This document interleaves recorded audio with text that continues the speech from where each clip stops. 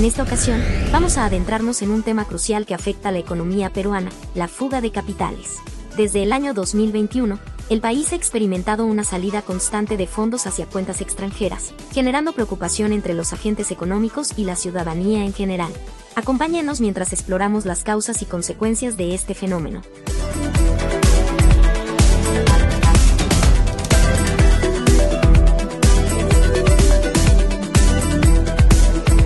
La fuga de capitales en el Perú ha sido una preocupación persistente en los últimos años. A pesar de las expectativas positivas que surgieron con el cambio de presidente en el 2022, bajo el mandato de Dina Boluarte, no se ha logrado contener esta tendencia. Según datos del Banco Central de Reserva del Perú, entre los años 2021 y 2023, más de 22 mil millones de dólares han salido del país hacia cuentas en el extranjero.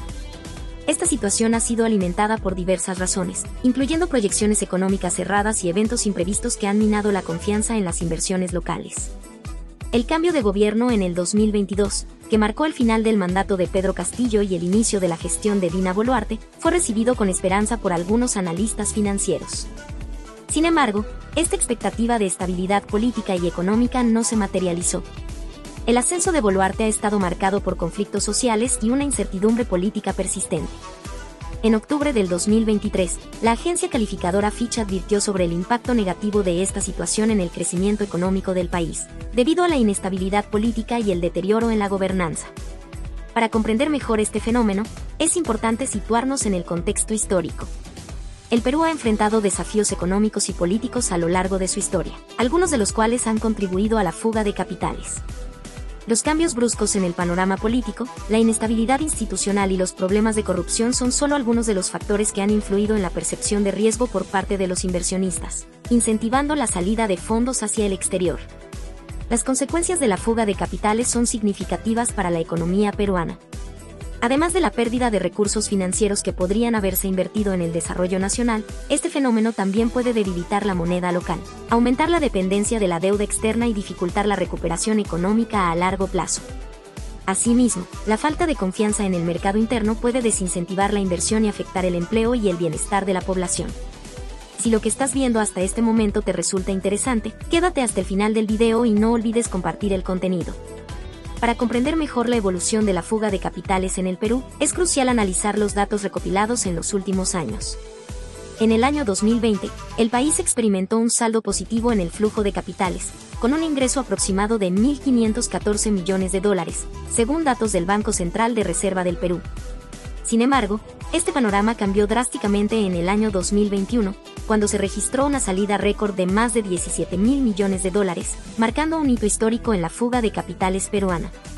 Esta caída abrupta en el flujo de capitales estuvo estrechamente relacionada con la incertidumbre generada por el triunfo electoral de Pedro Castillo. Los agentes económicos, preocupados por las posibles políticas que implementaría el nuevo gobierno, optaron por sacar sus fondos del país como medida de precaución. Este contexto de incertidumbre política y económica contribuyó significativamente al aumento de la fuga de capitales durante ese año. Sin embargo, en el año 2022, se observó una reducción en la salida de capitales, con un monto de aproximadamente 3.654 millones de dólares dejando el país. Esta disminución puede atribuirse en parte a una cierta estabilización política y a la esperanza de que las políticas económicas del nuevo gobierno pudieran generar confianza en los inversionistas. A pesar de esta ligera mejoría, el flujo de capitales hacia el exterior continuó siendo motivo de preocupación para las autoridades económicas y los analistas financieros. En el año anterior, el Banco Central de Reserva del Perú registró la salida de 1.675 millones de dólares hacia cuentas extranjeras. Según informes del diario Gestión, los principales mercados receptores de estos capitales fueron los Estados Unidos y Europa. Esta tendencia sugiere una búsqueda de seguridad y estabilidad por parte de los inversores, quienes podrían estar buscando refugio en economías más sólidas y predecibles en medio de la incertidumbre nacional. Uno de los factores que ha contribuido a prolongar la fuga de capitales ha sido la recesión económica experimentada por el país. Según Jorge Espada, socio director de Valoro Capital, las proyecciones económicas cerradas y el bajo desempeño del aparato productivo nacional han ahuyentado la inversión extranjera y han llevado a una contracción económica. Además, la reducción de la presencia de empresas internacionales en el país ha contribuido a esta situación. En este sentido, Espada señala que es poco probable que antes del año 2026, año electoral, se produzca un retorno significativo de los capitales peruanos que abandonaron el país en los últimos años. Aunque podría haber algunos ingresos concretos en el corto plazo, se necesitará tiempo para que la mayoría de los recursos que salieron del país regresen. Esta perspectiva subraya la importancia de implementar políticas económicas y medidas de estímulo que restauren la confianza de los inversores y fomenten un ambiente propicio para la inversión y el crecimiento económico, sostenible en el Perú.